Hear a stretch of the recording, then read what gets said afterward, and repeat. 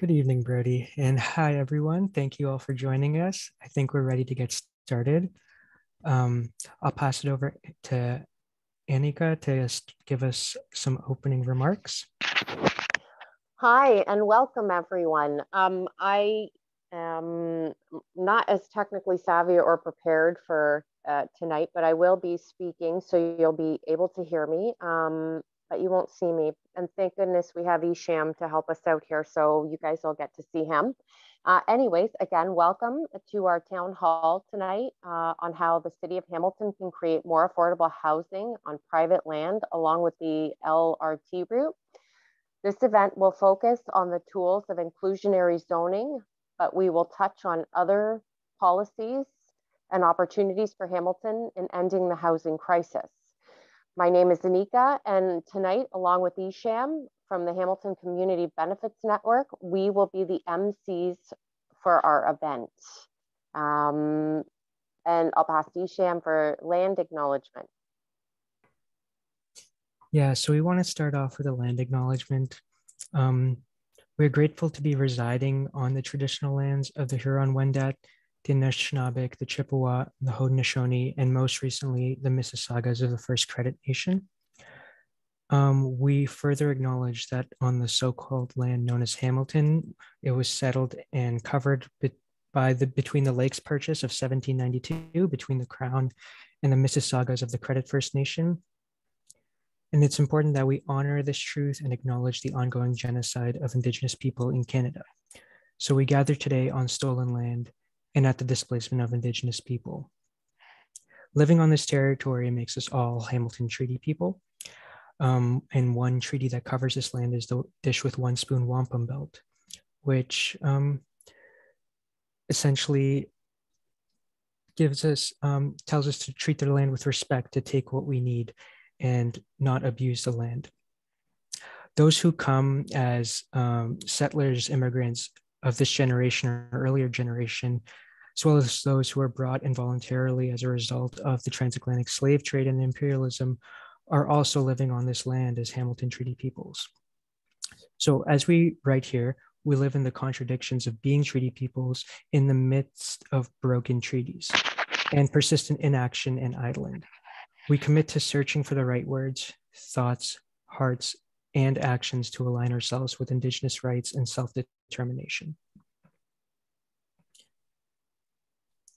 And now we'll introduce the organizations that are part of this town hall.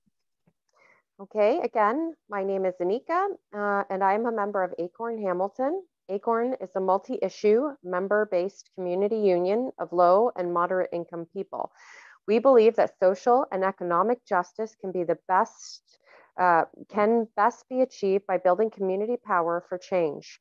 With 140,000 plus members in 20 plus neighborhood chapters across nine cities, our central purpose is to effectively represent and champion the interests of Canada's low and moderate income citizens on the critical issues of social and economic justice.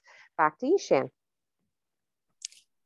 My name's Ishan. Um, I'm one of the three team members of HCBN, and the Hamilton Community Benefits Network is a community collective composed of representatives of various Hamilton organizations.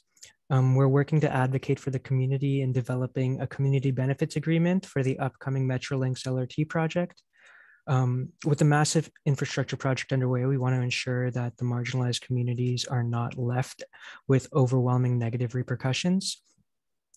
And we also have a survey that's circulating at the moment. So if you have the chance, that would um, filling out the survey would allow us to hear your thoughts and concerns on the LRT and how we can incorporate that into an agreement with Metrolinx.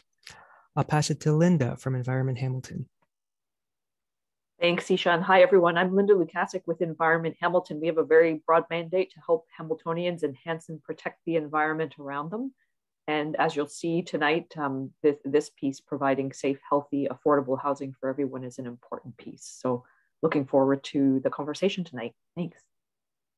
Okay, so I'm back to myself. Um, why are we here? Um, that was actually um, a good question that I had to ask myself as well. And I did a bit of research. Um, and here we are. We are hosting this event to bring together community organizations and members to learn about the tool of inclusionary zoning and invite everyone attending tonight to join host organizations ACORN, HCBN, and Environment Hamilton in urging the City of Hamilton to pass a strong inclusionary zone zoning policy.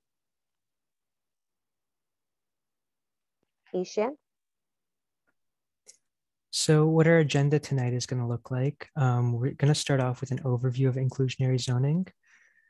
Then we'll have um, Toronto City Councillor Kristyn Wong Tam speak, then a speaker from Toronto Acorn, a speaker from HCBN, another speaker from Hamilton Acorn, um, Environment Hamilton, Stop Sprawl, um, and then Hamilton City Councillor Nrinder Nann, and then we'll have time for questions. So we're hoping to wrap up by um, 8 p.m. Hopefully we don't go longer than that. Okay, some ground rules for Zoom tonight. We are going to be keeping people on mute to avoid background noise until it's time for questions. This meeting will be recorded and screenshots will be taken for social media. If you don't want to be in the photos, just keep your video off, but we encourage you to keep it on. Feel free to use the chat, but please keep posts related to the forum and be respectful of fellow attendees. Before I pass this to our first speaker, we want to see where everyone is joining from. With so many people, we can't do a round of names, but I'm going to call out Hamilton neighborhoods. Please wave hello when you hear your area uh, called. Uh, if joining from outside Hamilton, please post where you're joining from in the chat. So downtown Hamilton, East Hamilton, Stoney Creek, that would be me, uh, Hamilton Mountain, Ancaster, and Dundas. Now we will hear from Carl from the Hamilton Community Benefits Network to give a brief overview of inclusionary zoning. Thank you very much. Uh, as I said, I'm Carl Anderson. I'm the Community Benefits uh, manager at the Hamilton Community Benefits Network. I'm excited to talk about inclusionary zoning uh, today. So what is inclusionary zoning? What does it mean? Well, inclusionary zoning is actually strictly a land use policy which allows municipalities like Hamilton or Toronto to dedicate um, a percentage basis for new development or redevelopment and force the developers of those projects to create and set aside a set number of affordable housing units. Now, this is sometimes done with additional heights or density bonuses, but is not necessarily re required. So what it basically says is that if you're going to be building in, in an area where the inclusionary zoning bylaw is, is applicable and can be enforced, the city can mandate that a percentage of those units be affordable housing um, and then and they have to construct those units uh, as per the municipal bylaw as a provision of getting a building permit and being allowed to construct on the site. Uh, next slide, please. So here we're going to look at some in inclusionary zoning jurisdictions. You can see that inclusionary zoning has been used going back to 1987 in New York. and, uh, and various other major US and Canadian cities have adopted inclusionary zoning bylaws in order to help mandate what can and cannot be built. And you'll see that there's a wide range of the av available amount of things that can be considered inclusionary zoning. Every jurisdiction has a little bit different way that they deal with inclusionary zoning and they tackle it. And we're going to talk today about the Ontario law and the possibility of bringing an inclusionary zoning bylaw to Hamilton, similar to the one that was, was created just recently in Toronto. And you're going to hear later on today from some from a city councilor and some allies at Acorn Toronto to talk about that experience. So if you want to just take a quick look at this, this chart, we'll make it available. You can see that um, average market rate, AMI, is used there. Some jurisdictions mandate that there has to be a, a, a, an affordable housing unit at 55% of average market rates. Some of them are ownership 100% at average market rate. So these are, they have some cities like New York have a deeply affordable option of 40% of at market rates. Um, so there are different jurisdictions that create different inclusionary zonings based on their needs, but also their regulatory conditions. Uh, next slide, please. So what I want to talk about is the limitations of inclusionary zoning as well. Inclusionary zoning isn't going isn't the only tool to build affordable housing that the city will have to use on the, the LRT corridor. It is a bit, it is, you can see in the little, little slice there in the light blue, is kind of the target area of affordable rental housing and affordable home ownership where inclusionary zoning traditionally is used. Now, as you can see from that, from the quote there, from the City of Toronto's report, they set it at incomes between the 30th and 60th percentile. So approximate households making 32,000 to $92,000 per year would be the types of rent and the types of ownership that this inclusionary zoning bylaw in Toronto is targeting and will create as a course of this. So as I said, it's not going to provide deeply affordable social housing. As you can see on the chart there in the purple, um, and over there in the supportive and transitional housings, those are areas where the government really has to step up and provide the funding to do purpose-built, deeply affordable rates. We can mandate developers to build, to provide inclusionary zoning, uh, through inclusionary zoning to provide some affordable housing units, but those affordable housing units are gonna be more like double working families uh, than they are people on ODSP or OW for this particular tool. Uh, next slide, please. So section 35 of the Planning Act, which was passed uh, in 2006 in a Bill 7, when the Promoting Affordable Housing Act was, was originally passed. And this was the first time that the province of Ontario set out standards by which um, an inclusionary zoning bylaw could be created by a municipality to help build additional affordable units in their communities and mandate developers to do so.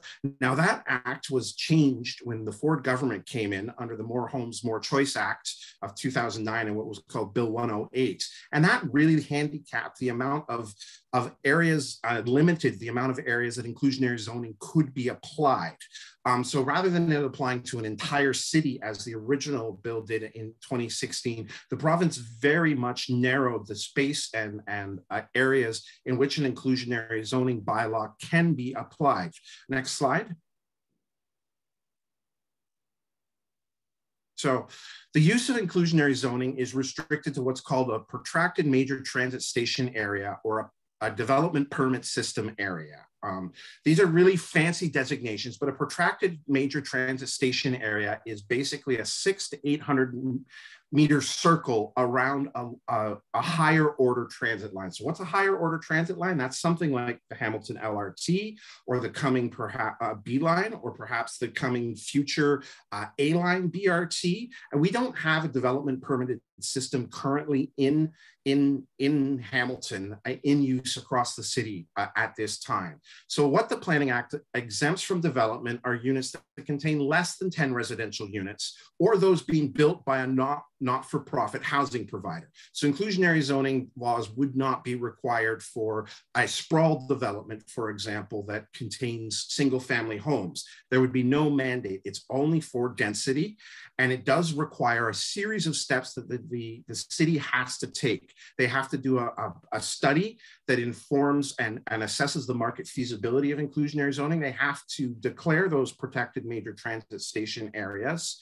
They have to set out, um, as you can see there, the minimum size of development for inclusionary zoning require, the, the number of square feet of, a, of inclusionary zoning, the range of types and sizes of houses that would be authorized as includable zoning, the range of incomes for which the units must be affordable, and the price and how the price and rent is determined, and the conditions under which permissions would be granted for off-site uh, inclusionary zoning dedication. Now, what offsite means is if a developer is building in the downtown core and um, there's a mandate for them to build 10% of those units as inclusionary zoning, they can opt to give the money to the city of Hamilton to build those inclusionary units somewhere else. This is sometimes used in inclusionary zoning policies uh, as a way of, of keeping um, more affordable units out of more desirous retail areas. That is to say, areas where the, the developer feels that they could get a lot more bang for their buck and would rather just pay off the city to have them build those units somewhere else. Next slide, please. So where can inclusionary zoning happen in Hamilton? Well, the city hasn't even begun, and it's kind of why we're here to start this conversation with all of you. The city hasn't even begun to study where inclusionary zoning might apply. They have done none of the background steps required in order to bring forward inclusionary zoning bylaw. And as of current staff reports, there are tentative plans to maybe have this conversation happen sometime in the late 2023. And that's only a plan. So there's, there's actually no timetable for this to occur, which is a little bit of, of the urgency that I'll talk about later on and why. So as I said, those protected major transit stations are a fancy way of saying five to 800 meters around a GO station. So that's the Hunter Street GO station, the West Harbor GO station, the New Confederation GO station, or a stop on a higher order transit, as I mentioned, the B line or the, the A line. So we don't know what Hamilton's uh, staff are going to study or recommend or which particular areas may be applicable to the inclusionary zoning bylaw. And if you go to the next slide, Here's a nice little map just to give you some idea. If you can just imagine an 800 meter circle around all of those little dots across the city of Hamilton. So the proposed A-line BRT, which is scheduled to possibly begin in 2026 or 2020. Um, or, or as you can see, the B-line LRT that will be built, or those green dots, which are the GO stations. So anywhere within those areas are areas that the government expects there to be massive building and density. So they expect around those station stops that we will see denser and denser units, eight story, 10 story, 30 story, higher, taller buildings. And of course, because of the, the, the desirability of being around a transit station, they have provided this inclusionary zoning tool to help manage some of that development. So it does net some affordable housing units. Next slide. So now I'd like to introduce our, our next guest, um, and I'll pass it over to Ananka to, uh, to, to go ahead and introduce uh, the counselor. And she's gonna give us some background on what Toronto went through when they started their process of designating that inclusionary zoning bylaw. It is, it's, it's quite a lengthy process that a city has to go to in order to, in order to be able to apply to the province to pass an inclusionary zoning bylaw. Well, thank you, Carl, but um, it's actually Ishan that's going to introduce uh, a Councillor Wong Tam, and so I will pass it over to him now. Thank you. Um, so up next, yeah, we have Councillor Kristyn Wong Tam joining us from the City of Toronto. Um, Councillor Wong Tam was elected to Toronto City Council in 2010 and has an extensive career in investing in the city through both the public and private sectors. Her contributions have led to the development and support of improved social planning programs, new affordable housing, innovative economic development programs, community art projects, and investments in diverse, family friendly neighborhood planning. She has led efforts to defend the rights of tenants to obtain affordable housing and decent standards of rental housing, and helped create a neighborhood association to preserve and protect heritage buildings and historical landscapes in the ward, and was voted Toronto's best city councillor by Now magazine readers five times. To you, Councillor Wong Tam. Thank you so much, Ishan. I just my screen was so sensitive. I touched it and you all disappeared, but now you're back. So it's great to be here. Um, I just want to begin by saying thank you to all of you for, for coming out to this evening's uh, panel discussion. And also just to acknowledge that I'm actually um, uh, sort of streaming uh, with you uh, from Toronto, uh, which is the uh, lands of the Mississaugas of the Credit, uh, the Anishinaabe, the Chippewa, and the Haudenosaunee, and the Wendat people. And Toronto, of course, is still home to many indigenous diverse people, including Treaty People 30, uh, 13. Um, so, uh, you know, Carl, I just want to congratulate you. You you summed up what was probably one of the most complex housing policies, planning, um, regulatory bodies, um, frameworks in, in such a concise manner, and I thought that it was fairly accessible um, because certainly I've heard people describe um, uh, inclusionary zoning, we'll call it affectionately here as IZ, uh, in all sorts of different forms. Uh, I thought you did a fantastic job. I also recognize a number of those uh, those slides and images and, and the numbers. So I, I know that uh, uh, you, you leaned into the Toronto data uh, which is uh, which is why I'm here to share a little bit of what happened in the city of Toronto, um, and uh, and how we got our inclusionary zoning bylaw passed, which is now part of an official plan amendment, and uh, and uh, and it comes into force and effect uh, as of September the 18th, 2022, which means that every developer uh, that is going to be uh, submitting an application that meets those physical criteria that Carl was speaking about. So it has to be up to a certain size, it has to be within a location, uh, it has to um, uh, hit certain markers uh, with respect to the, um, uh, to the density. If it does all that, then IZ is triggered. So we really tussled at the City of Toronto um, over uh, the, the quantums. So, uh, and, and I think it's important for us to recognize by just taking a step back before I go into the, the quantums, uh, is that, you know, the inclusionary zoning, uh, as Carl had mentioned, is that, you know, it was a tool that was supposed to drive um, uh, the investments as well as the construction of affordable housing. I would layer on one additional um, uh, observation inclusionary zoning was introduced to, to break through that sort of NIMBY stronghold in suburban um, uh, neighborhoods in the US where, where residents would rally against affordable housing. So they figure that if they can build it into the actual policies and the planning regime, then, you know, then those neighborhoods would have to accept it. And uh, and Canadian cities um, are, are coming a little bit late to the to the game. Uh, certainly, uh, we are in in Ontario, uh, Montreal's had it for some time. Um, and uh, one thing I can offer you is that, you know, if we had stayed with the original Wynne government program, which would have been, you know, inclusionary zoning everywhere, like literally everywhere, um, uh, as long as it meets those criteria of physical, built form, and GFA, um, we would have a lot more options as, a, as opposed to being restricted to the protected major transit uh, station areas uh, which which of course means that you have to have higher order transit. So just basically anything that, that's attached to rail. So already right off the bat, um, we are restricted. And so Toronto uh, began the conversation uh, literally decades ago. We've been asking the province for these powers. We never were able to get it. And uh, of course, uh, with the Liberal government, they introduced it, but then the Ford government changed it. Who knows what the next government will bring? um, perhaps it may be changed again, uh, which means that Hamilton might get a better deal than, than Toronto would, and we'd have to go back and perhaps redraw the map one more time. Um, but let's work with the rules that we have today. One of the, the things that made Toronto's story, um, I think, pretty unique is that there was a lot of community power behind it.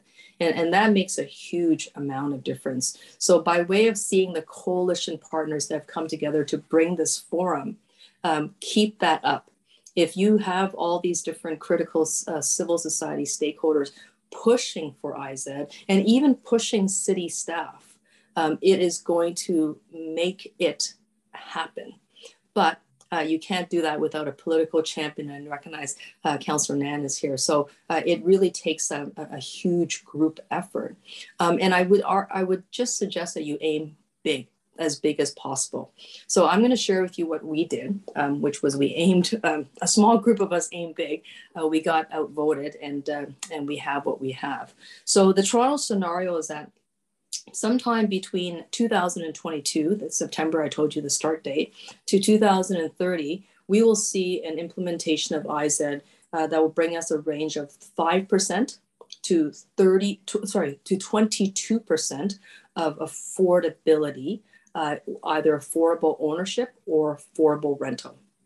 So that's 5 to 22, from 20, 2022 to 2030 a smaller group of us uh, was pushing really hard uh, for inclusionary zoning to begin at 20%, to go to 30%, and then to accelerate that. So, therefore, we don't hit our mark uh, by 2030, but rather by 2025. So, much more aggressive timelines, right?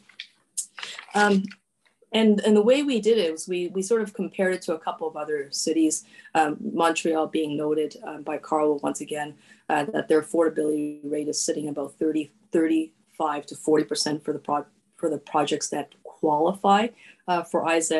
New York City, some deeply affordable, between 25 to 30 percent of their projects may include inclusionary zoning.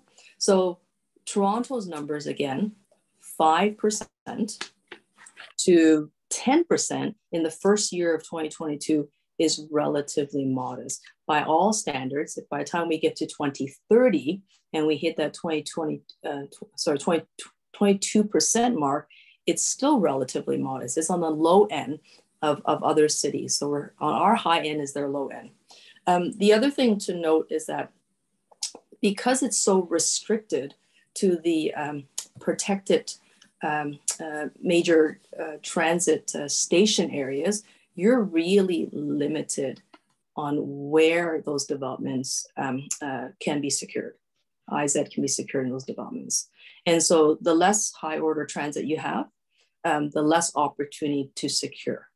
So that's going to be one, one thing that I think we need to push for into the future. Uh, if there's a way to amend the, the provincial regs, uh, that's one thing that will certainly open it up. Um, the, the other thing for us to, to keep in mind is that um, there are a number of exemptions uh, besides you know, not meeting the criteria for uh, uh, for the land and placement and not being attached to high order transit. And that is of course the smaller, uh, uh, the smaller buildings. So in the city of Toronto, we don't include mid-rise. If there are less than, uh, for example, 100 units, uh, those uh, units would not, those development would not qualify and IZ would not be triggered. Um, interestingly enough, Toronto is probably one of the most expensive housing markets um, in uh, uh, in Canada, uh, right up there with Vancouver. I think we actually overtook Vancouver recently. Uh, not a not a proud title, but certainly certainly not. Um, but I also know that Hamilton is becoming incredibly expensive. I, I, took a peek at your numbers recently, and I was actually quite, quite shocked. Although I, have been hearing about the migration and the speculation of land, but certainly those numbers would uh, would signify that you're feeling the same type of um, affordability crunch as we are uh, in the city. So, how do we mobilize the community members so that they can really add some jet fuel to your advocacy efforts? And please don't be discouraged that it's going to take years because literally it took us years. And, and that's on top of the decades of asking the province for the permission and the, and the regulations to, be, to enable us to do that. So it is going to be realistically uh, a multi-year fight. So uh, of course you should be in a hurry and you should rush to the finish line as, as quickly as possible, but but don't be don't don't defeat yourself by saying that it's taken you too long. Uh, because if uh, if you're doing this work and the LRT is coming through and you have this broad coalition of people that have come together, uh, it is certainly um, a fight that I'm pretty confident that you will win, um, because that's that's how uh, political change happens is through that type of mobilization. Um, I'm just going to leave you with a, few stats just so that I know I'm out of time. Um, but um, let me let me describe the situation in Toronto uh, a little bit more in detail. Um, if we had uh, inclusionary zoning uh, 10 years earlier, let's just say, for example, and you've probably heard about the stories of the cranes in the sky and the fact that we're going through this massive construction, uh, you know, boom. Uh, we would have over 30,000 units of, of affordable units in Toronto over built over 10 years, as opposed to what we have built over 10 years, a decade of construction uh, is, is, a, is a meager 5,000 units. So it would have been 25,000 more units had we had IZ 10 years ago. And, and even to that point, our housing waitlist is sitting about 120,000 people uh, for the for the waitlist for housing. Uh, and just to break it down for you further, is that if you're looking for a bachelor apartment, a studio apartment, it's going to take you approximately, I believe, seven years. If you're looking for one bedroom apartment, uh, it's going to take you close to 10 years if for, for an affordable unit. Like, so, so the, the, the sense of urgency is, is there because this is about real lives and it will make a huge difference when you win. Um, but uh, but it will be a, a multi-year fight. Um, and and the one thing I am going to be pretty confident about is that I'm pretty confident that city planners talk to one another. So our planners would talk to Hamilton's planners, Hamilton planners will talk to Ottawa planners, and we're, we're always sharing. Um, there will be a lot of learnings uh, across the, uh, the different cities. And I think that if you can uh, encourage your planners to speak to the Toronto planners to understand how they went through their exercise because there had to be some testing of market feasibility, meaning that if the if they if they felt that the market couldn't bear the IZ numbers, then they weren't going to recommend it. So there was a huge pushback in Toronto of developer interest and land speculator interest that helped suppress our numbers at 5%. We didn't get to a starting point of 20% because the land uh, builders, uh, developer associations are very, very powerful. So you're going to have to figure out how to contend with that and deal with those same type of specul- uh, uh, speculatory um, and predatory forces uh, in Hamilton. And that's going to be the other demon at the table that may be wearing, um, you know, may be very nice talking, talking about the need to build more housing, uh, but I guarantee you they're not on your side. They will do everything they can to undermine your efforts, and they will do everything they can to get to those friendlier counselors. If you have a friendly mayor to that type of uh, uh, message, they're going to do everything they can to tell you and scare you that you can't be ambitious. You should not ask for more because development will dry up. And if the pipeline of development dries up, then housing and revenues and levies to the city will all go. We heard that throughout the entire consultation process. And yet we know that even if we hit our high watermark of 20 to 30%, land speculators would have received 10% over their current value um, appraisal on the land. And the developers would have um, pocketed a, a, a, very hefty 15% uh, uh, profit and that's on the and that's on our higher end. So you can imagine what they're making off with as we settle for the lower end numbers. Um, so I'm going to leave it there and, and happy to take some questions. I, I think I'm out of time and uh, handing it right back to Ishan. Thanks, everyone. Thank you so much, Councillor Wong Tam, for taking the time to join us and speak. Um, before I introduce our next speaker, I want to quickly mention that um, some folks were requesting closed captioning, and we were having technical issues with closed captioning. Um, but we this meeting is being recorded, and we're going to caption it and upload the video later. In the meantime, if you want to check out the Facebook Live video, that does have auto-generated captions that may be helpful. But up next, we have Abdullah from Toronto Acorn. He will be speaking about the community and public campaign pushing for a strong inclusionary zoning policy for Toronto. Thank you so much, Ishan. How's it going, everybody? Uh, thank you, everyone, for being here. Uh, thank you, councillors Nann and Wong Tam, as well as uh, all these lovely Hamilton Acorn members.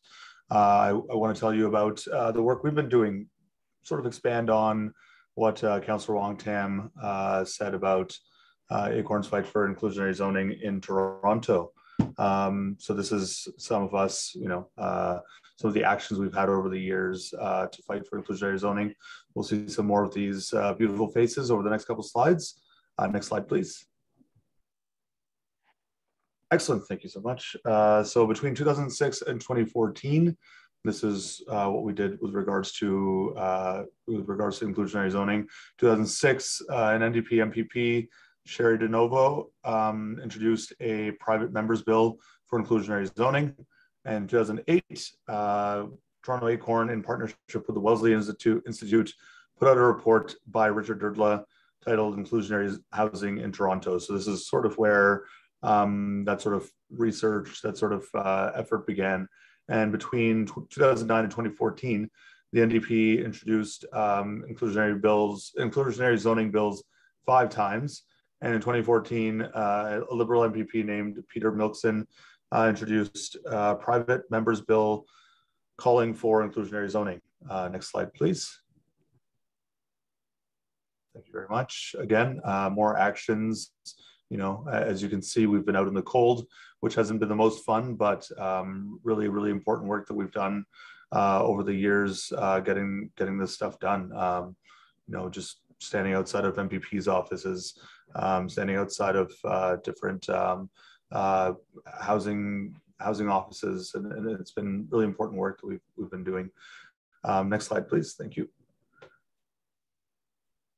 In 2016, ACORN organized actions across the province. You saw some of those pictures in the previous two slides. Uh, we've also held campaign workshops across cities where Acorn organizes, and we're hoping that uh, we can get that started in Hamilton soon. Uh, in December in December of 2016, uh, legislation was introduced which would give inclusionary zoning powers to municipalities rather than make it uh, provincial or federal. So, you know, uh, different cities have different um, limitations, different uh, circumstances. So, you know, this was important legislation to happen. Next slide, please. Thank you. Um, between 2017 and 2018, uh, regulations from the province came out. Uh, and no surprise, in December 2017, we are lear we learned that uh, a lot of the provincial people are pro-developer. Um, I don't think that comes as any surprise to any of you. Uh, we're all ACORN members, so we understand that that happens quite often.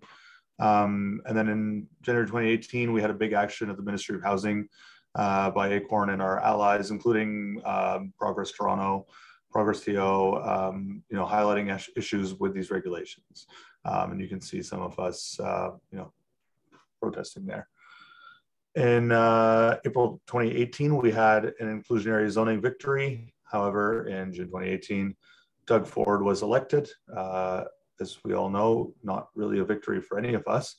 And uh, between 2018 and 2019, um, Doug Ford enacted legislation to limit inclusionary zoning, including the Bill, Bill 108, which was the More Homes, More Choice Act, which you know sounds nice, but um, you know not not as not as positive as it might sound. Uh, regardless, we were out there campaigning, uh, fighting for uh, for um, you know inclusionary zoning wins. Next slide, please. Thank you. Uh, in 2019, uh, the city of Toronto hired um, consultants to study the impact of inclusionary zoning. Uh, the NBLC has received awards from de developer groups such as the Building Industry and Land Development Association, uh, aka Builds. So again, not a pro, um, not a pro tenants um, organization. And the study, unsurprisingly, was very pro developer, included a requirement that um, developers maintain a 15% profit margin. If you know what homes and you know developments are selling for in the city, 15% is a massive amount of money. And uh, they're making this money despite a lot of us not being able to afford places to live in the city and across the province, in fact. Um, yeah, as you can see, 15% um, profit margin uh, for the ownership tenure. Um, next slide, please. Thank you. Continuing in uh, 2019, uh, May 2019, ACORN released an inclusionary zoning best practices report. Uh, you can find that on ACORN's website. Uh, I can also put it in the chat after this so you can look at it. Um, in May 2019 was May 2019 was also the month with the More Homes, More Choices Act. Um, and again, I'm still out there fighting for it. The city draft proposal in 2019 was, um, you know, you can have a look at it here, but essentially, um, you know, slightly more ambitious, but not really um, as, as much as we'd like to see. Uh, again, policy directions that um, you know we, we wanted more more aggressiveness on. Um, next slide, please. Thank you. Um, and between 2020 and now, uh, city consultations wrapped up in November 2020, and there were there was a second round uh, of uh, public consultations, which you see on the screen here. Um, you know, just before uh, the pandemic started, and we sort of got a better understanding that um, there are really big problems uh, in the city when it comes to affordability. Uh, next slide, please. Thank you. Um, so this was the 2020 draft proposal. And, um, you know, as we gained a better understanding of what was affordable, what, was considered affordable, what was feasible for the city to, to make happen, um, we, you know, this was the draft official plan and zoning amendments. Uh, the affordability period uh, being 99 years pertains to um, you know us wanting to make it more or less permanent, right? Uh, we want to make it so that it's uh, this this is stuff that isn't just in place for the next five or ten years. We, we want our children to be able to live in the cities that we grew up in. So um, this is really important work um, that we hope to be more aggressive on. Uh, and I can show you some of that as we go along. Next slide, please. Thank you. Um, this was an action that we had in Scarborough. I believe this was last year, if I'm not mistaken. I remember this happening. Um, again, uh, yeah, another another action in East York. We had actions downtown. We had actions at City Hall. Um, you know, just trying to push as much as we can. Um, and then this report, I remember coming out uh, last summer, and I remember very clearly because we were out uh, petitioning uh, for um, for city councilor to councilors to make it so that uh, we would have more affordable housing and inclusionary zoning in the city of Toronto. Um, very hot day, but uh, lots of signatures that day, and we're very happy with our efforts. Um, you can also look at take a look at this um, this report on the Acorn website. Uh, next slide, please. Thank you. Um, and then another release was report, uh, another report was released um, showing who controls Toronto. And it sort of, sort of showed um, how a lot of people in important uh, powers, uh, positions of power were receiving money from developers, uh, which is uh, obviously unacceptable as we know, but um, you know, I, I, guess they have their reasons. Um, and, uh, you know, moneyed interests, as we all know, often win out uh, when it comes to politics. So um, this is something we're also hoping to uh, change uh, over the next over the next little while. Next slide, please. And finally, yeah, we had uh, two final rallies at City Hall last year, um, October 26th and November 9th, uh, just trying to make sure that the city knows uh, that we are paying attention, that we care about these issues, and uh, they, that they affect all of us. Um, it's really good to see such a good turnout uh, those two days. Next slide, please. Thank you. So the ACORN members' demands for inclusionary zoning, uh, and I think um, uh, Councillor Wong Tam talked about a little bit of these, um, but uh, and, and, these were based on a sort of uh, a report that the, a study that the city conducted themselves that showed that these things were feasible. Uh, we were at the moment, at the time, we were at three to 10% of all new rental units had to be considered deeply affordable. We wanted to push for a minimum of 20 to 30% of every development with 60 units or more um, set aside as permanent. You saw that 99 years figure. Uh, we wanted to consider deeply affordable and not just deeply affordable for those people who are doing extremely well, uh, living affluently, um, we want to we want to have uh, deeply affordable units for people who are making ten to thirty thousand dollars a year because we think that frontline workers who you know are, are frankly vastly underpaid deserve to also um, live in good homes, uh, good safe homes, and uh, we want that for all for for twenty to thirty percent at least of all new rental units uh, in the city. Uh, next slide, please. And we see the results here. Um, this was what came out of it. Uh, I think Council, Councillor Wong Tam once again um, talked about this. Uh, so between September 18th and 20, uh, between September 18th of this year to December 31st of 2024, this is what we're hoping will happen. Um, there are three inclusionary zoning areas, and they all have different um, different standards that they have to meet. Again, um, not as aggressive as we would have liked, which is why we need to keep fighting. And uh, this is why we're really excited to see uh, the city of Ham uh, Hamilton Acorns push push for inclusionary zoning. Next slide, please. And so, you know, we talked about what, oh, sorry, if you could please go back, if you wouldn't mind. Thank you. So you know, we have goals that we're hoping to hit by 2024. We were hoping that the goals that you see in front of you would be the ones that we were aiming for for 2024. Um, and instead, you know, it's a little bit of dragging the feet happening from the city of Toronto. Um, and, uh, you know, we know how when something is set for eight years from now, those things might change and they might get pulled back so that that 22% goes down to 18% or 20%. And so this is why we want to anchor high. We want, we want to say we can reach up to 30%. So why are we going for 22 eight years before it even happened? So I think it's really important. Uh, what one lesson we've learned is that we need to anchor high. We need to ask for more than we want because, um, you know, they'll, always take something off that, um, and negotiations just just happen that way. So um, we are concerned that you know that 22% will go down in the next eight years, which is why we're pushing for more uh, going forward. Next slide, please. Yeah, so this is the uh, the phase in. This is sort of what's happening behind the scenes when we look at those uh, two slides, uh, those previous two slides that showed uh, what we have uh, happening. So as you can see, we're ramping up, um, you know, every year. But um, I mean, I'm just wondering how much room there's going to be to build new affordable housing in 2030, frankly. Um, you know, uh, we are very quickly running out of just land area in the city.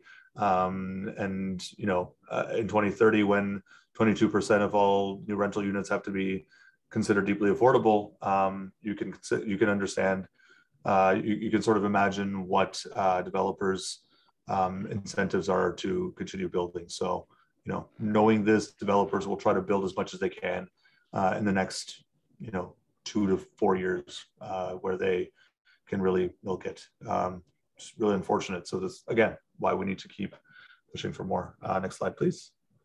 I think we're near the end of it, if I'm not mistaken. Yeah, um, then affordable rents, again, uh, we are looking at people who um, have a very different definition from what we consider affordable. Uh, I live in a studio apartment in Toronto. I pay right around that current definition, and I can tell you that it's not very affordable. Um, so I think we need to redefine what is considered affordable. I think we need to redefine who we're who we're thinking of when we think about affordability, um, especially when you look at this uh, when you look at this two bedroom amount. Um, you know, I, I think that's a ridiculous amount when you're thinking about a two bedroom apartment where you're raising children.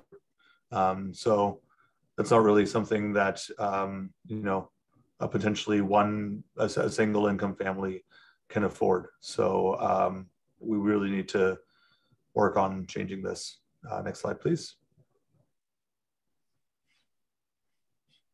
And so you can see again, uh, you know we are pushing for the things that we're pushing for even then are are, are quite uh, quite egregious I, I, mean when you consider that a studio would cost uh, $150000 to buy uh, even under our target income definition um, that's that's a lot of that's a lot of money um, i don't think you should have to spend you know uh, four or five times your your yearly income to, to purchase a home uh, yeah, I mean, it's self-evident. I don't think I have to explain any further what's going on here. Um, and so let's look at what's next. Um, there is supposed to be a 90 days. Uh, so there's supposed to be a review uh, to approve um, potentially this month. We are talking to Councillor Mike Layton about this. I don't know if uh, Councillor Wong-Tam can potentially weigh in. I, I don't know if she's a because I, I know that it's still sort of up in the air, and um, we we may or may not have that review happen this this month, but we're hoping that it does.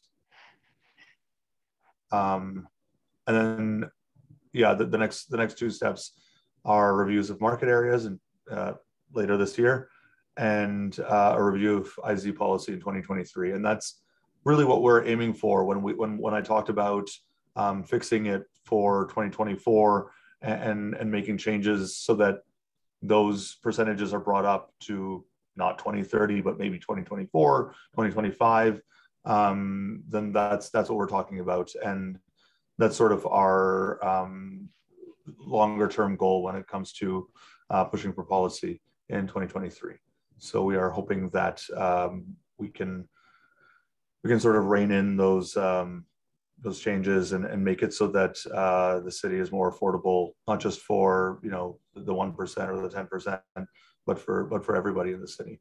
And uh, I think that is it, if I'm not mistaken. Um, thank you so much for listening, And um, you know, I, I, hope to continue to be an advocate and and um, an ally as uh, Hamilton Acorn begins this journey. Um, thank you so much for being here, and thanks for listening. Thank you for joining us and speaking, Abdullah. We appreciate it. I'm going to pass it on to Anika to introduce our next speaker. Okay, and I will be re-inviting Carl to from HCBN to speak to us again on inclusionary zoning. So we're handing it over to you, Carl. I, I love the picture you picked. Thank you. Uh, appreciate it. So um, why we're here, and I really want to talk about this. Um, uh, uh, Councillor Wong Tam uh, mentioned that this is a long process, that it doesn't happen overnight. And as many of you know, the city is becoming increasingly unaffordable with the third hottest property market in North in, in Canada right now, one of the hottest in North America. We are seeing an inflationary pressure on rents and displacement happening all over the city, not just along the LRT corridor, but as of right now, and subject to perhaps change by a future government, inclusionary zoning can only only happen on the LRT corridor and around the GO stations. So what does that mean for, for, for the city of Hamilton? Uh, for some of you uh, may recall back in 2016 when we were debating the downtown secondary plan and um, uh, some activists may be on this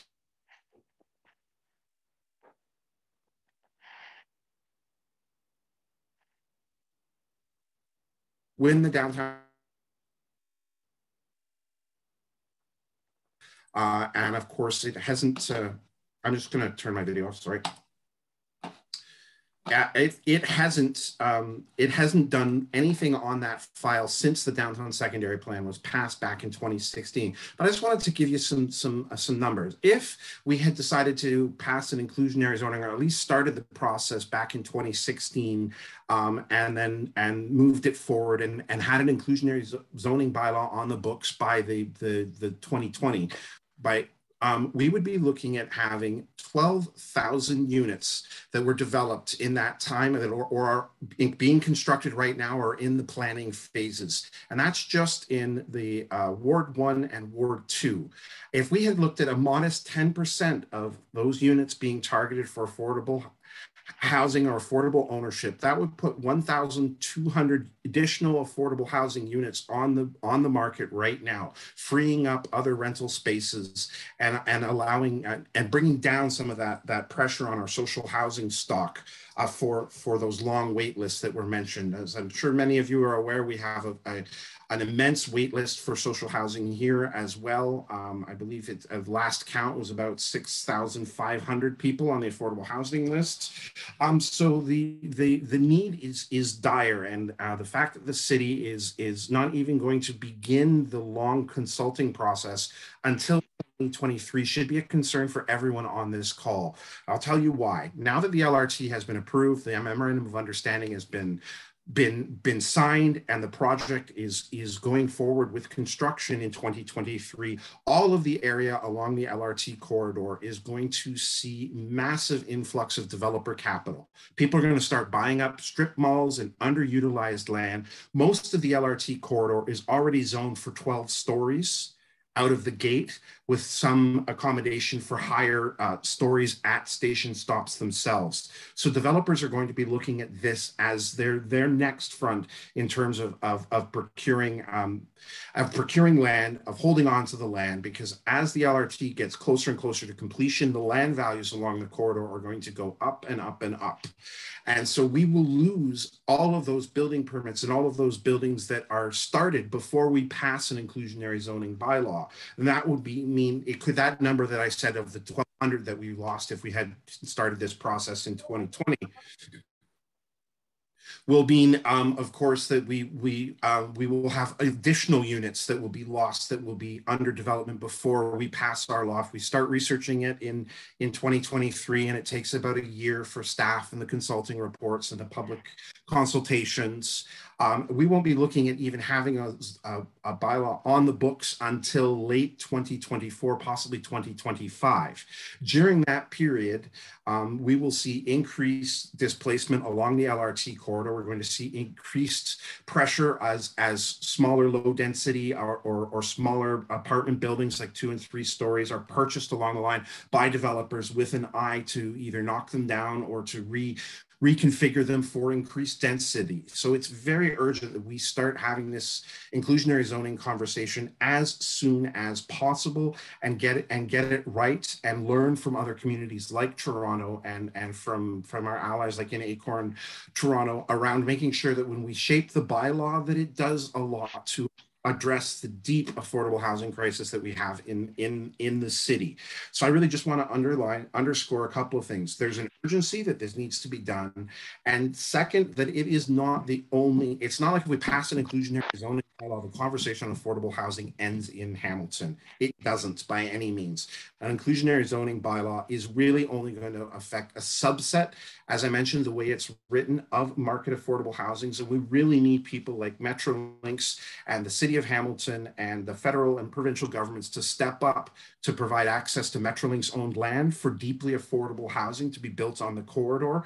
What we what we risk doing is what tends to happen in, in communities when a new transit line is is invested. There's a massive rejuvenation of, of that area. Capital flows into that area. Private developers rush in. Businesses get snapped up. You can probably see little hints of that change along the LRT corridor already, but it is going to come massively now that the project is, is underway. And that affordable pro, housing crisis that we have now will look much, much, much worse by 2025. So we really need to have these broad conversations. And this is one of a series I we hope to work with on ACORN to talk about affordable housing in the LRT corridor. Because as I said, inclusionary zoning is only one piece of the puzzle. Thank you. Thank you so much, Carl, for all that information. And you know what? I'm just grateful. I'm learning so much. Um, anyways, I will um, pass this on to Shannon McKnight from Acorn's East Hamilton chapter, and she will speak about what the housing crisis looks like on the ground for tenants and Acorn's Homes for All campaigns. Hi, everybody. Can everybody hear me properly? You good? Okay. I usually have microphone issues. Uh, my name is Shannon, and I'm a member of Acorn's East Hamilton chapter. I will be speaking today about Acorn's Homes for All campaign. Like many Ontario cities, Hamilton is in a housing crisis, and we need all levels of government to play a role in finding solutions. Low and moderate income tenants across Hamilton are facing increasing displacement pressures, are forced to stay in substandard housing because they cannot afford to move, face a long wait of adding their name to the waitlist for social housing or when no other options are available. Facebook and face becoming homeless until the city can offer an affordable unit. The center, oh gosh, sorry, lost my, the situation is dire and more and more must be done, especially to, municipally to address the crisis. We need to keep tenants housed that currently have affordable housing, and we urgently need the City of Hamilton to build more of it. Since 2017, ACORN has been fighting for healthy homes and tenant protections from displacement. Last year, our members organized over the summer to launch demands to fight for more affordable housing. Our full municipal housing platform includes demands for creating more affordable housing on public and private land and protections for for tenants from displacement and neglectful landlords. One, a strong inclusionary zoning bylaw to ensure affordable housing is built near high density transit areas. Two, municipal policies and programs that prioritize real affordable housing on public land. Three, a citywide landlord licensing program to protect tenants from rent eviction and substandard housing based on policy from New, New Westminster, BC, and Rent Safe from Toronto. Four, a citywide rental replacement policy that includes allowing tenants displaced by demoviction returning to their units at the same rent in the new development. We released our Homes for All platform with a march along the LRT route from Queen Street to, Queen Street to City Hall and stopped at developments currently being built to show the missed opportunities already from not having an inclusionary zoning policy. Inclusionary zoning is an important, important opportunity to get affordable housing built by leveraging the huge amount of investment expected to continue along the LRT route and near GO transit stations. We need to ensure that transit projects benefit the community. ACORN members want to see developers' profits cut into and affordable housing delivered. Acorn Hamilton is calling on the City of Hamilton to create a bold inclusionary zoning policy that includes a set aside rate of minimum 40% affordable housing in mm-hmm. all new condo and apartment developments where IZ can be used. Affordable units built with IZ policies be kept affordable forever. Require targets for accessible housing target incomes of 30,000 or less for affordability. We need affordable housing for Hamiltonians. ODSP, OW recipients, low wage workers, and fixed income seniors. IZ policy applies to the minimum amount of units as set out in the provincial policy, 10 units or more. The struggle for an affordable city won't end with any one specific policy or tool, but the powers are there for the city of Hamilton to implement bold local legislation to protect tenants and create more real affordable housing. Tenants across the LRT route have already been seeing for years that buildings are being bought and tenants are being rent evicted. Affordable rentals are being destroyed. We need homes over profit. We need an affordable city. Thank you. Thank you, Shannon, for sharing that with us. Um, now I will pass you on to Ishan, who's going to uh, introduce Environment Hamilton. Yes, from Environment Hamilton, we have Lynda Lukasik talking about the connection between inclusionary zoning and building a climate resilient, inclusive city. Thanks, Ishan. Hi, everyone. I'm going to be really quick here. So um, so I just want to say I'm really pleased to be participating in this event tonight. This issue is so critically important. Safe, healthy housing is a human right. And at Environment Hamilton, we're really fueled by the desire to build a climate resilient, inclusive Hamilton. So ensuring that there is safe, healthy, affordable housing along the new LRT route is something that in our minds is critical to realizing that vision for our city. So we've been working closely with organizations like the Hamilton Community Benefits Network and Hamilton Acorn, and through the Just Recovery Hamilton Coalition to advocate for the changes that will make this vision reality.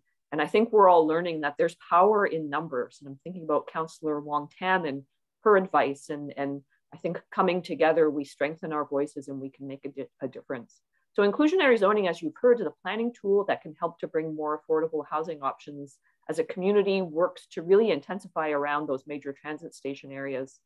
We need to build that transit oriented development in Hamilton that is really designed to ensure that everyone, especially those who depend on public transit, is that, the, that people are able to live close, to key transit lines like our LRT. So this is really a mobility justice issue. We are gonna need active government interventions to ensure that we do not see gentrification along the East-West LRT route. And I would add that we also need to ensure that this new housing that is being built is climate resilient, low carbon. We need to ensure we'll, we are building a city that's ready to cope with the challenges that the climate emergency will bring, extreme heat, extreme cold, and whatever comes in between. And so that means building green to things like passive house standards. And so we can ensure that everyone, especially those most vulnerable in our city, is provided with safe shelter. So we have a lot of work to do to advocate for these outcomes. Um, but we need to continue to push. There are exciting opportunities emerging along the LRT line, um, including the latest. And I want to share this one. It's in my own neighborhood, the redevelopment of the Eastgate Square site. And we need to come together to get it right at locations like that. And inclusionary zoning is one key piece. And there are certainly a whole lot of other tools that we need to advocate for too, if we want to realize that climate resilient, inclusive future for our city. Thanks, everybody. Thank you so much, Linda. Next up from Stop Sprawl Hamilton, we have Lily Noble um, on the connection between stopping urban sprawl and building affordable housing.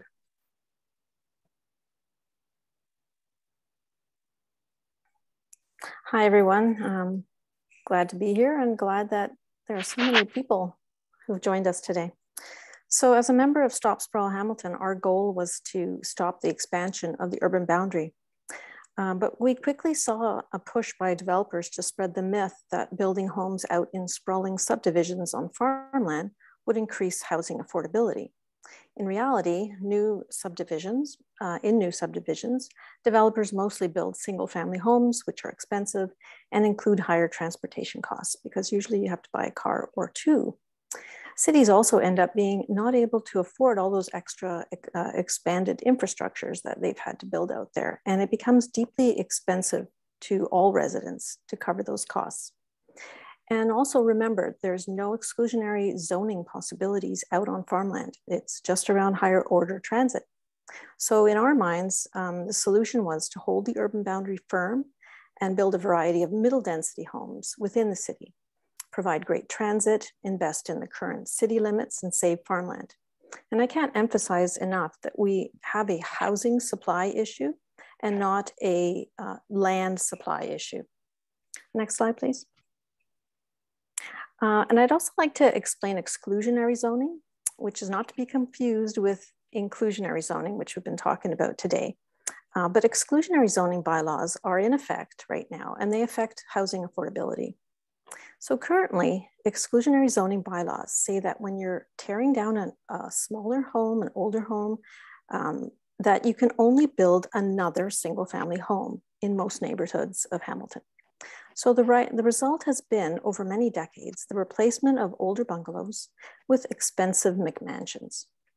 But the city is now in the beginning stages of changing that zoning to allow the construction of semi-detached homes, townhouses, and the three and four plexes, um, where previously only the McMansions were allowed to be built. These zoning changes will put an end to exclusionary zoning and is just one small step toward the creation of more affordable types of housing in Hamilton. And these will be in about 70% of the land mass of Hamilton. So it's significant um, where this can occur. Um, a new group has formed in Hamilton called More Neighbors Hamont with the goal of helping people understand that we need to end that exclusionary zoning so that we can build more affordable middle density homes in existing neighborhoods with lots of amenities where people want to live. And you can find them on um, Facebook and on Twitter. Um, there's also a, a, very active group in Toronto called More Neighbors Toronto. Follow them too, they're really great. And um, let's build more homes. Thank you. Thank you so much, Lily. Um, I'll pass it back to Anika to introduce our last speaker. Okay, um, lastly, we have Ward 3 Hamilton City Councilor Nrinder Nann joining us. Nrinder is proud to serve as Ward 3 City Councilor. She has wasted no time in her first term. She has led the call for climate emergency and supported the efforts for council to stop urban boundary expansion. She has determined the equity and the inclusion lenses to be integrated into every aspect of city's business. Councillor Nann has also been a champion for dignified and truly affordable housing by advancing major policy shifts in Hamilton, including a vacant home tax and the development of an anti-renoviction bylaw regime. Ultimately, Councillor Nann is committed to fostering a sustainable city of belonging to where residents' input shapes how future generations of Hamiltonians will thrive here together. Councillor Nann?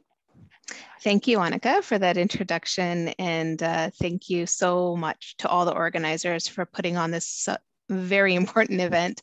Uh, it's the good work of community education that will lead to good action, that will lead to good futures. Thank you to Councillor Wong Tam for sharing your Toronto Council experience and for your insights and encouragement. Uh, you mentioned the importance of having political champions. And on that note, I also want to acknowledge that Councillor Wilson from Ward 1 here in Hamilton is also in attendance tonight. To Toronto Acorn, thank you so much for that historical review of where IZ housing policy began in terms of the fight. I think it is so important for us to have that full context and that gentle reminder that uh, there is a legacy of work that we can build on here locally. And uh, thank you so much for being here to continuously not only support us, but also share uh, recommendations of what else to push for. Carl and the Hamilton Community Benefits Network, your thorough breakdown of what's needed and what's possible, but also thank you for underscoring the urgency of stepping up to, the to deliver deeply affordable housing along the LRT corridor here. Shannon, for sharing your lived experience as well as that of tenants across the city in terms of the housing crisis we face and the need for tangible solutions and clear demands for what an IZ policy ought to be focusing on here in Hamilton to Lynda and Environment Hamilton for always pushing for what is possible from a climate lens and uh, emphasizing the need for uh, passive house designs to be integrated into the criteria for IZ uh, qualifications. And Lily from Stop the Sprawl for connecting the urban boundary freeze and pushing for getting rid of exclusionary zoning in order to allow for a deeper mix of density and housing across the city. So folks, I just wanna share a few words and insights from my own listening and learning from tonight's conversation, but also from the, the discussions we've been having kind of behind the scenes. And what I love about tonight's event is it's the opportunity for us to break into much more public conversations and push this community dialogue out into all of Hamilton so that the community can engage in what is possible and demand what is possible from its Hamilton City Council. Building and maintaining affordable housing along good transit are only two key aspects of establishing complete neighborhoods. And we're facing a housing affordability crisis now that's been spanning across the city and across every city in this country and also globally. Every municipality, I believe, has a clear objective and clear requirements right now as we face this together. And that is to develop outcome based policy frameworks that deliver climate responsive, inclusive, and true range of affordable housing. The urgency, as Carl pointed, is that Hamilton has a 6,647 household wait list trying to access social and affordable housing. And that doesn't even include everybody. That's only the folks that are on the wait list. Our shelters continue to be over capacity, including women and family, particularly. And my office continues to write letters on a weekly basis. And in fact, we're down to one, we're, we're sorry, up to one letter a day on behalf of Ward 3 residents, appealing to landlords to pause evictions. Properties along the LRT corridor here in Ward 3 are already being snatched up by speculators and developers, and the values continue to rise exponentially. So what does this mean? It means that it requires us as a municipality to identify every possible lever that is available to the city to connect good transit with dignified, affordable housing, and do so with intentional planning that designs communities that are complete. So what are those levers? To create good, affordable housing and also to protect the housing that's here. I think first and foremost, mentioned earlier by Shannon, is the city must preserve the existing housing stock by ensuring that their good homes are not lost, and more importantly, people are not being displaced. And so that anti-renoviction bylaw that Hamilton Acorn pushed council to consider is on its way, and I look forward to receiving the first report from the consult consultant later this year. We've frozen the urban boundary, but that definitely means that we need to address the issue from a zoning perspective, as Lily mentioned. Inclusionary zoning needs bold definitions in terms of defining what does affordable mean, what are the requirements that the city of Hamilton wants to place on condo developments, as well as rental developments along that line. You know, to, to leave it to private developers to develop, develop deliver affordable housing mm, can leave many of us feeling quite anxious and uneasy. Uh, so it is so very important that we begin the dialogue now in starting to define what that inclusionary zoning must deliver. And the other aspect that I think we can we can start seriously uh, addressing and need to do so with urgency is look at what does a public and city-owned land strategy look like along the LRT line. So if examples like in Ward 3, where land is already being snatched up by developers, it is that much more important for the city to identify what is the municipally owned land along the, the corridor, what is other publicly owned land along the corridor, including Hamilton Wentworth District School Board, and identify uh, what we will be able to do, which that the market is completely unwilling to do. So using our land strategically to acquire and amass land so that we can support social and deeply affordable housing developments with our social housing providers here in Hamilton and the Hamilton is Home Coalition. I believe that funding this is possible through the revenues that we could draw from, hopefully, our ability to put in place a vacant homes tax, uh, from revenue generated from the Airbnb licensing or tax regime that's on its way, as well as leveraging investments from the province and CMHC so that we can actually help them deliver on the outcomes that those investment portfolios are supposed to deliver, which is deeply affordable and not just market housing. And then I think it asks, it, you know, this, this, this entire conversation begs the question of what role can nonprofit organizations and our housing service providers play?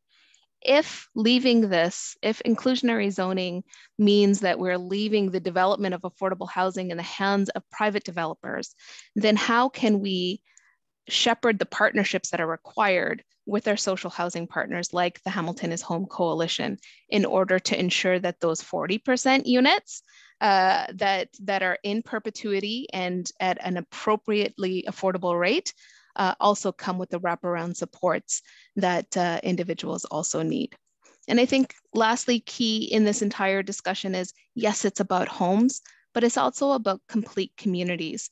And the piece that we need to also consider is how do we also leverage the LRT corridor to make sure that it is delivering green spaces that are publicly accessible, that we are seeing an increase in community service spaces, that we are seeing recreational needs for those affordable housing units, as well as that mixed housing along that corridor um, is serving the future needs of future populations that will be popping up along those transit-oriented dense uh, spaces. So I'm going to pause there. As you can tell, uh, it's a multi-generational family moment right here, right now. Grandma's at the door. My daughter's here on my lap. And uh, I just want to say again, thank you so much. Uh, I really look forward to continuing this conversation with you all publicly. And uh, thank you again to everybody for organizing it. Thank you so much, Councillor Nann, for joining us uh, and for having your family join us as well. I think it's very important that um, this is a representation of Hamilton and how wonderful to have that image of you with your family. Uh, now I'm going to pass it on to um, uh, HCBN um, so that we can start our questioning. So thank you to all our speakers. That's the last of our um, last of our speakers. So now we have time for some questions. If you have any questions, please post it in the chat or raise your hand using the Zoom feature. If you're following the live stream on one of our social medias, you can post your question into the live stream. Those are being monitored as well. Um, we'll try to get as many people as possible, but with a limited time. Um, if we don't hear from you, we will write down your name and follow up with you after the event. Also, with the limited time, if you are speaking, please try to stick to just asking the questions so we can get to as many people as possible. So we have a, um, a question from Charlie. What role could a community land trust play? I can take that one. Um, great question, question, Charlie. Um, thank you for that, based on the Hamilton Community Land Trust. Um, land trusts are, are a very interesting phenomenon. They're not for profits, and what they do is, is their idea is to take land out of the market in perpetuity. So there's uh, an example of, of a, a land trust uh, single family home that was built by Habitat for Humanity and the previous Ward 3 councillor, uh, now MP Green, donated some land to the Hamilton Community Land Trust.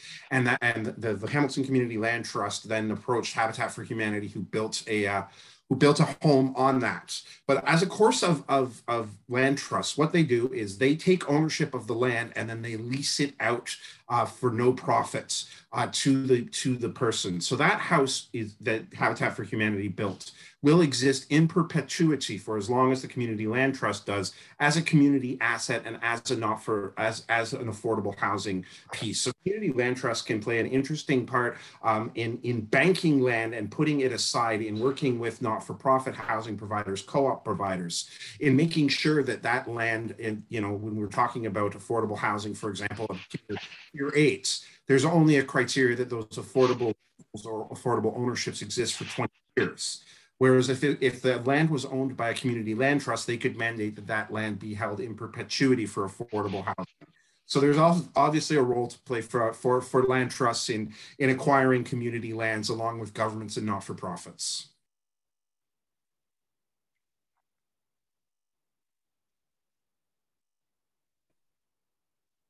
Um, so I think we have a question from Lily. Um, IELEC is compiling questions for candidates running for councillors and mayor to answer. Have you asked them to include a question about inclusionary zoning so we can get a new council that will get this done faster? Uh, that's that's not something that we've done, but it's certainly not a not a bad not a bad idea, um, most certainly, and we can we can certainly look at at at that and approaching them. I know um, from Environment Hamilton and, and HCBN and Acorn's perspective, we will be working with our Just Recovery partners to put out a series of questions about potential future candidates for City Council and how and how they will create a more just COVID recovery uh, during their role as city councilors, and we'll be putting those questions out to all of the all of the uh, the prospective councilors who will be running in October. Next up, there's a question from Kate. Um, can IZ include units with multiple bedrooms? They're concerned that families will be squeezed out of high and middle density buildings as investors prefer bachelor and single bedroom units. So the short answer is yes. An inclusionary zoning bylaw can mandate certain types of, of bedrooms and, and um, uh, in, in the developments. Another tool that, that city uh, staff can do is that they can, um, when an area, for example, along the LRT corridor, most of the land there is zoned for about 12 stories.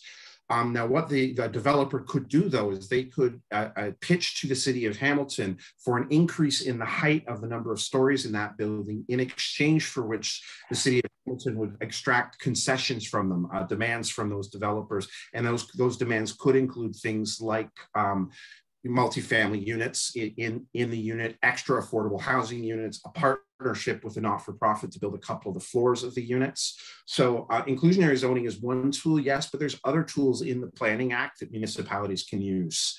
Um, oh, uh, Nrinder also wanted to mention the uh, family-friendly housing policy that's uh, research that's currently underway by the city. Uh, and add this important point for inclusionary zoning uh, multi-room units.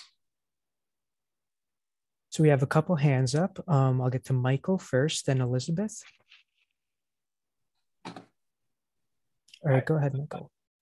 Yeah, yeah, well, thank you everybody for the presentation. Um, I believe when Carl did his presentation about inclusionary zoning, you mentioned that uh, when uh, developers do not want to include inclusionary zoning, if I'm not mistaken, in their in the development, that that they can basically give money to the city, uh, essentially buying, you know, not not not in exchange for not developing those inclusionary zoning.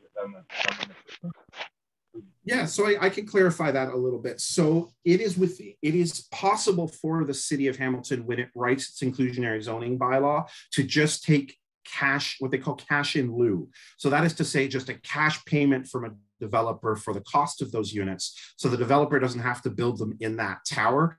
It's done in some jurisdictions like um, New York City. It's certainly not something that I would recommend because it doesn't give you a, a diversity of, of of different residents in a community and can actually push people out of desirable neighborhoods. Um, so certainly not a policy that I, I recommend that Hamilton uh, follow, but it is a policy that, that is possible and cash in, in lieu payments from developers are something that other inclusionary zoning cities have done. so, so just just want to add to that. Um, I, by from what I'm hearing, how the it's such an uphill climb right now. It's very difficult. Assuming the city will want to pursue that that that strategy, which is obviously not the one we want. Can those uh, uh, those that, that payment be increased? Is it fixed? Is it allocated strictly for building? Can that be used for, for working with in, in together with uh, with uh, land trust uh, developments, with the co-ops or, or not for profits, or there, are there real restrictions to that to, to that money? So that that money that's collected, cash in lieu, if the city should choose that that direction uh, for inclusionary zoning, would go into a special account that could only be used to buy affordable housing. Uh, the city couldn't spend that money on something different, uh, on a road or a sewer or whatever. That money is collected under the inclusionary zoning bylaw for a very specific purpose um, if the city chose to do that. And like I said, that all depends on, on your councilors. We have two of them here. When this, this issue comes before council um, to debate, you know, you make sure you delegate and say that you kind of don't want that, that cash in lieu portion. You'd prefer to have the neighborhoods built where they are. Um, so I just, I you know, just, I just wanted to kind of clarify that that is an option that, that is allowed by the legislation, but not one the city necessarily has to take. Thank you. All right, Elizabeth, I'll unmute you. Go ahead. Hi, I was talking to you before about the buildings that I've seen around Hamilton, like the buildings and houses that I've seen boarded up. I think they should be built into affordable housing and be used for the people for affordable housing. Because I've seen them not being used, and I think they should be used for affordable housing. Like they're just sitting there and not being used. Like I've seen them not being used, and they're just sitting there, like tons of buildings and houses, like out in Dundas, Ancaster, all over the place where I've been, and they're just sitting there and not being used. Like they should be used for affordable housing. Like they can be used like they're nice houses and buildings and they're not being used for anything and they're just sitting there Thank you very much for for for mentioning that. Yes, um, there there unfortunately there are some there are limits to the extent at which a municipality can actually just put those units back on the market that are owned by private developers or land speculators who are just keeping the land off the market so that they can build on it once something like the LRT is complete and that land is worth more value to them. But one of the tools that uh, Councillor Nann mentioned is a vacant uh, home tax. So that is to say, taxing the, the people who own that and making it prohibitive for them to keep those units off the market and just squat on them and speculate them. Thank you.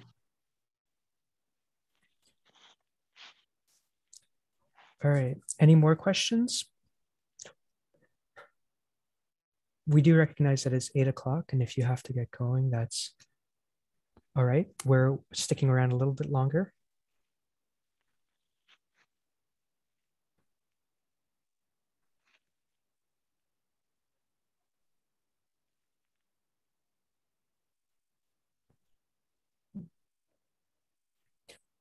All right. It seems like we don't have any more questions. So I'll pass it over to Anika to give our end up end our meeting. Yeah. Awesome. Thank you, Ishan, for um, co-hosting this with me. It was uh, a lot of fun and I learned a lot. And I just want to express a sincere thanks to all of our guests, our friends and our allies who have helped organize this town hall. We hope that the evening has been both inspiring and informative. We hope that the town hall lays the groundwork for us to come together collectively to push for inclusionary zoning in Hamilton. Every resident is an integral part of our city we need housing built to reflect the needs of our community. The time is now to be bold and take action. Thank you again for joining us and have a great night.